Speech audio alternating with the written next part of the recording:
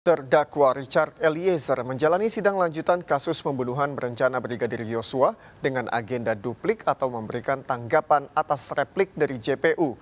Dalam persidangan, kuasa hukum menganggap JPU keliru ketika memberikan replik terhadap Eliezer.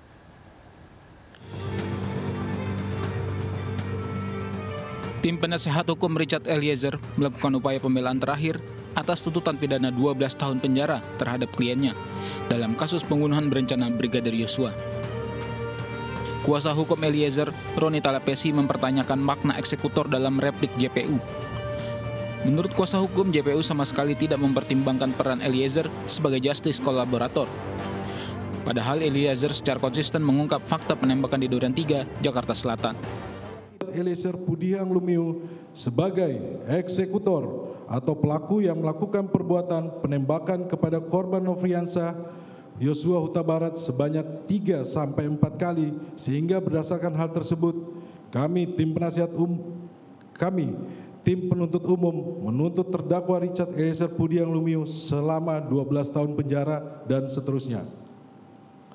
Bahwa replik penuntut umum tersebut sesungguhnya telah menunjukkan kekeliruan penuntut umum dalam memahami prinsip yang berlaku pada hukum acara pidana sebagaimana ditentukan dalam pasal 24A ayat 5 Undang-Undang Dasar 1945 yang menentukan bahwa suatu hukum acara haruslah diatur dalam peraturan setingkat undang-undang karena bersifat terbatas atau limitatif dan memaksa. Selain itu, kuasa hukum mengatakan dalam dupliknya bahwa kliennya memiliki loyalitas yang kuat terhadap atasannya, mengingat Eliezer merupakan anggota BRIMOB yang diajarkan untuk patuh menjalankan perintah. Sebelumnya, dalam repliknya JPU meminta majelis hakim menolak dan mengesampingkan pledoi yang telah disampaikan Eliezer. JPU meminta majelis hakim untuk menjatuhkan keputusan sebagaimana diktum tuntutan penuntut umum. Dari Jakarta, Ayah Nufus, Andri Setiawan, Pandu Priyo melaporkan. Selain Eliezer, terdakwa Putri Chandrawati juga menjalani sidang duplik. Dalam sidang, tim penasihat hukum Putri mempertanyakan pernyataan JPU yang menyatakan pelecehan seksual yang dialami Putri adalah khayalan.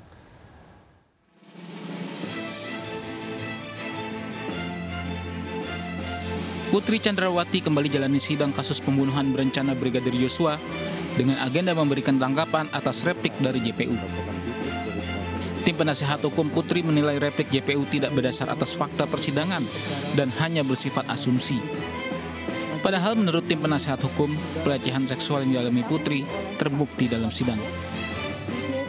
Tim penasehat hukum tidak menemukan bantahan yang didasarkan pada alat bukti yang valid dan argumentasi hukum yang kokoh dari penuntut umum. Sebagian besar dari 6.000 kata yang ditulis di replik tersebut menuliskan klaim kosong tanpa bukti, asumsi-asumsi baru, hingga tuduhan baru terhadap tim penasehat hukum. Sungguh sesuatu yang emosional, menyedihkan, dan nyaris sia-sia. Upaya penuntut umum menjawab nota pembelaan setebal 955 halaman dengan hanya 28 halaman replik yang penuh kalimat-kalimat emosional tampak seperti tersesat di rimba fakta dan argumentasi. Kuasa hukum Putri juga menyatakan asumsi-asumsi yang dibangun jaksa tidak fokus pada pokok perkara dan justru menyasar pada penasihat hukum. Sebelumnya dalam sidang replik, JPU meminta majelis hakim menolak seluruh nota pembelaan para terdakwa. Bahkan tim penuntut umum menyebut pelecehan seksual yang dialami Putri adalah hayalan. Usai pengajuan duplik, Majelis Hakim menetapkan sidang vonis Putri Chandrawati akan digelar pada 13 Februari 2023. Dari Jakarta, Nadia Valeri dan Aulian Syah Ramadan melaporkan.